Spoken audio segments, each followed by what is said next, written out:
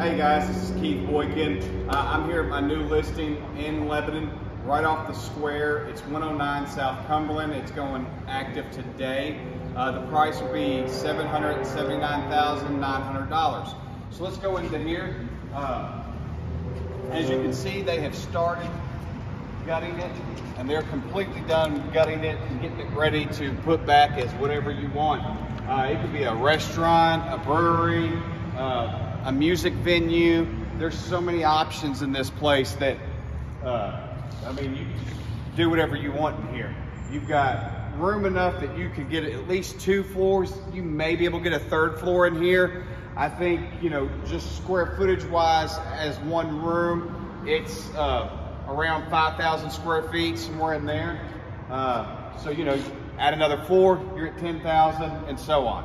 But this place is awesome. Uh, you know, it's built in the 1900s and it's right off the Lebanon Square. Uh, give me a call, reach out to me on Facebook or message me. Uh, y'all have a great day, guys.